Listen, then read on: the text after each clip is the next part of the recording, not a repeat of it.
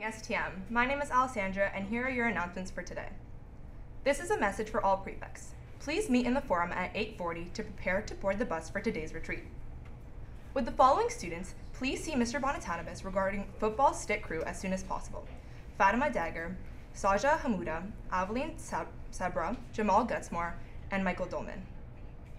Good luck to the junior boys volleyball team as they head on the road to face St. Mary's tonight at 4. Reminder to the players to be at St. Mary's for 3:30. Go Knights.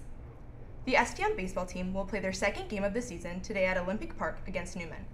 We kindly ask that period 2 teachers please dismiss the baseball team members at 1:30 today.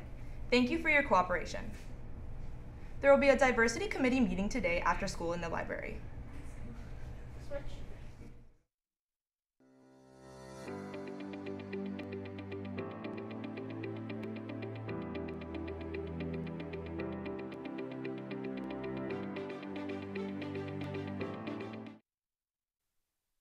Hey STM, I'm Ella and I'm from United Against Racism. This Wednesday, our United Against Racism committee will be having an open meeting in the lecture hall after school. This week's topic is truth and reconciliation. For anyone who may not be familiar with where the lecture hall is located, it can be found directly across the main office. Come and check us out, where you can take part in our discussions or just listen. Anyone in the school is welcome, and we hope to see you all there. For any additional questions, please message us on Instagram or Twitter at stm.unitedagainstracism. Thanks, STM.